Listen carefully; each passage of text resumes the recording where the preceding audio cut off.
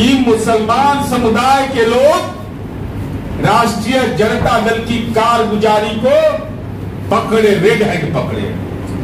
कि केवल ये इस्तेमाल करते हैं और बाकी कुछ इनको लेना देना नहीं है। इसीलिए वोट का जो परसेंटेज आप देखिएगा तो बहुत ही लो स्टैंडर्ड पर इनको वोट मिला है। ये महत्वपूर्ण पक्ष है। दूसरा हम जानना चाहते हैं, माननीय तेजस्वी यादव जी आपसे हम तो 16 सीट लड़े लोकसभा चुनाव में और हमने चार सीट पर अति पिछड़ा समुदाय को लड़ाया।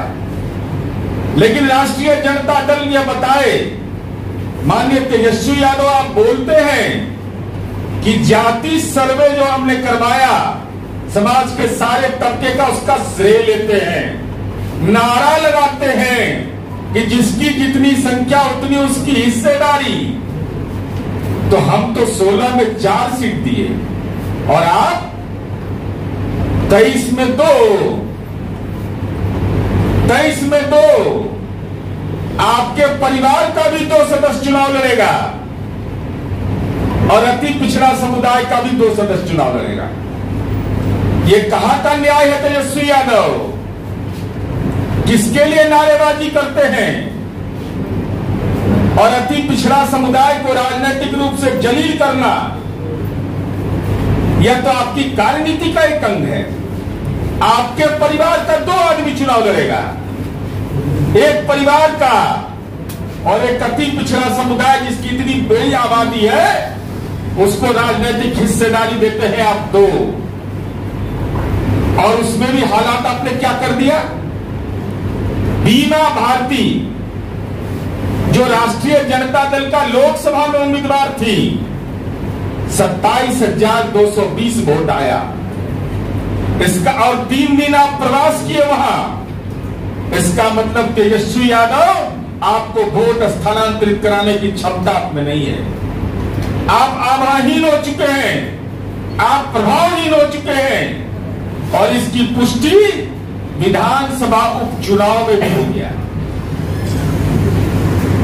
हम पर हम पर बोलते थे। तबियत कैसा है राजनीति में कालिया तीसरे नंबर की पार्टी हो गए। तबियत ठीक है ना? इतना आभा मंडल आपका मज़बूत, रोज़गार, विकास। जन नायक कर्पूरी ठाकुर, डॉक्टर राम मनोहर लोहिया, डॉक्टर भीमराव अंबेडकर, सबका नाम लेते हैं। और आचरण है राजनीति के सामंत का आपका अति पिछड़ा समुदाय को आप समझते हैं कि इनकी कोई भूमिका नहीं है। दो सीट दिया और मेरा आरोप है सीधा कि जानबूझ करके बीमा भारती को आपने अपमानित किया, ये यही आपकी मंशा साफ़ थी।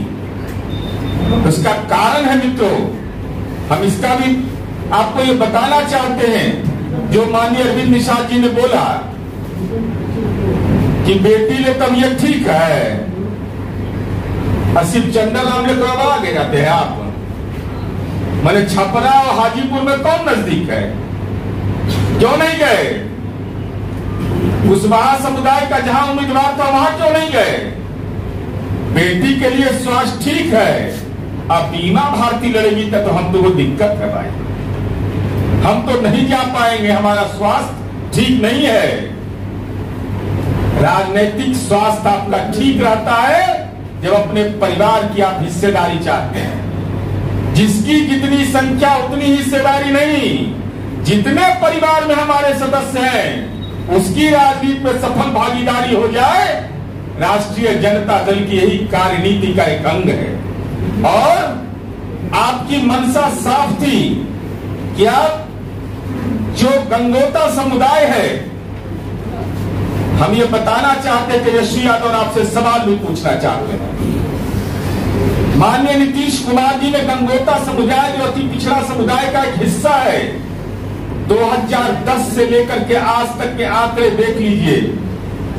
2010 में बीमा भारती वहाँ से चुनाव जीती। 2010 में अजय कुमार मंडल जदयू के उम्मीदवार थे। विधानसभा चुनाव जीते आज भागलपुर के माननीय सांसद हैं। दिलनाथ नगर से वो जीते, गोपालपुर से गोपाल मंडल जीते नाथनगर से लक्ष्मीकांत मंडल जीते, बीमा भारती फिर जीती, नरेंद्र कुमार नीरज गोपालपुर से जीते बीस में, भागलपुर से भूलो मंडल, जो हमारी पार्टी कभी दो 2014 में जीते। जब 2014 में हम अलग होकर के चुनाव लड़ रहे थे, वो राष्ट्रीय जनता दल के बैनर तहत जीते। और भागलपुर से फिर अजय मंडल। तो गंगोता समुदाय की हिस्सेदारी आपने क्या दिया? मात्र एक बार, एक सीट पर, जिसकी इतनी बड़ी आबादी अंगिका क्षेत्र में है, भागलपुर के इलाके में, और माननीय नीतीश कुमार जी ने गंगोता समुदाय को कितनी बड़ी हिस्सेदारी दी? चाहे वो गोपाल मंडल हो, अजय मंडल हो, लक्ष्मीकांत मंडल हो, या बीमा भारती हो, सबको माननीय नीतीश कुमार जी ने सम्मान देने का काम किया। लेकिन माननीय लालू प्रसाद जी, राजनीतिक सामंत है। गंगोता समुदाय, जो गरीब समुदाय के लोग हैं, जो मेहनती होते हैं, जो अपने उसूल के पक्के होते हैं, उनको, उनकी राजनीतिक भूमिका को आपने नकारने का काम किया है। इसलिए आपने जानबूझ करके राजनीतिक अपमान किया गंगोता समुदाय का। ये इस लोकसभा चुनाव और विधानसभा चुनाव का परिणाम जो आया उससे स्पष्ट होता है। तीसरा सवाल है, किसको किसको धोखा दीजिएगा? अति पिछड़ा को धोखा दिया तो उससे मन नहीं भरा तो गंगोता समुदाय को धोखा दिया, उससे नहीं मन भरा तो आपने अपनी सहयोगी पार्टी को ही धोखा दे दिया। सहयोगी पार्टी की भारतीय कम्युनिस्ट पार्टी है, और भारतीय कम्युनिस्ट पार्टी के उम्मीदवार को 2020 के विधानसभा चुनाव में अगर अंगणित समझ में नहीं आता है तो राजद के नेताओं को भेज दीजिएगा। इकतालीस हज़ार नौ सौ तिरसठ वोट मिले।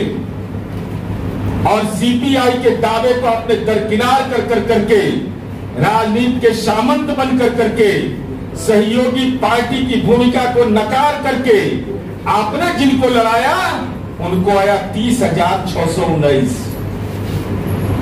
दावा किसका था सही? सीपीआई का दावा बनता था। अब वामपंथी पार्टियों में आत्मसम्मान है कि नहीं, मैं नहीं जानता। अगर आत्मसम्मान है तो ये सवाल पूछ तेजस्वी यादव के खाते में हम डाल रहे हैं कि आप इस बात को स्पष्ट करिए कि आखिर गुनाह क्या है अति पिछड़ा समुदाय का? और हमने तो अभी लोकसभा में संसदीय दल का नेता बनाया, केंद्रीय राज्य मंत्री बनाया। लेकिन आपको तो मौका मिलता है तो विधानसभा में हम ही रहेंगे। विधान परिषद में माता श्री दस्खत करेंगे पावर पिताजी का प्राइवेट लिमिटेड कंपनी चलाओ पूरा। तो ये रुपौली उपचुनाव का परिणाम हमारी पार्टी और एनडीए तो समीक्षा करेगा, लेकिन हमारा ये आरोप है तेजस्वी यादव पर कि आपके परिवार के लोग जो पार्टी चलाते हैं, राष्ट्रीय जनता दल गंगोता समुदाय का राजनैतिक अपमान करना आपकी कार्य संस्कृति का अंग है, जिसका शिकार बीमा भारती हुई दूसरा आरोप हमारा यह है कि आप कहते हैं कि जिसकी जितनी संख्या, उतनी उसकी भागीदारी, ये भ्रमजाल है। आपका नारा यह है कि परिवार के जितने सदस्य हैं, उतनी भागीदारी हम लेंगे। बाकी अति पिछड़ा जाए दलित जाए जहाँ जिसको जाना है, हम परिवार के सदस्य दो चुनाव दो सीट लेंगे और अति पिछड़ा को भी दो सीट देंगे। भले राजनीति के सामंत हैं, ज़मीन से नहीं पेट भरा, तब सीट से पेट भर रहे हैं। ज़मीन मालूम है ना कितना पटना में तैतालीस बीघा, बारह कट्ठा सोलह दूर। साधारण आप लोग के पास, किसी के पास हम लोग के पास नहीं है। और साथ ही साथ, आपने अपने सहयोगी पार्टी के साथ जो सलूक किया है, भारतीय कम्युनिस्ट पार्टी के उम्मीदवार को ज़्यादा वोट आया। लेकिन वो अभी 2020 के चुनाव लड़े थे। राष्ट्रीय जनता दल उनका समर्थन किया था, लेकिन आखिर कारण क्या है कि उनका टिकट काट दिया? बेचारा गरीब आदमी है तो टिकट नहीं लेने दीजिएगा उसको। गरीब आदमी है तो उसके पास को उसको वजूद नहीं है लड़ने का। सीपीआई कार्यकर्ता तो उसको लड़ने का अधिकार नहीं है।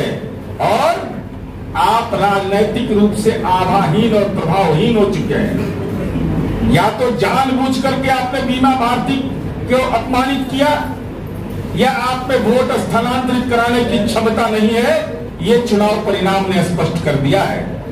और माननीय लालू प्रसाद जी के तो आप ही हैं। राजनीतिक बारिश आप तो हर चुनावी सभा में कहते थे, मैं लालू जी का संदेश लेके आया हूँ। तो क्या लालू जी का यह संदेश था कि अति पिछड़ा दलित समुदाय के लोग जहाँ लोकसभा चुनाव लड़ रहे हो, वहाँ हम नहीं जाएँगे। अपनी बेटी के लिए हम 22 दिन चुनाव प्रचार करेंगे। वहाँ तबीयत मेरा ठीक रहता है, लेकिन जहाँ दलित अति पिछड़ा लड़ेगा, वहाँ राजनीति में दुर्गंध होता है हमको, क्योंकि हम राजनीति के सामंत लोग हैं।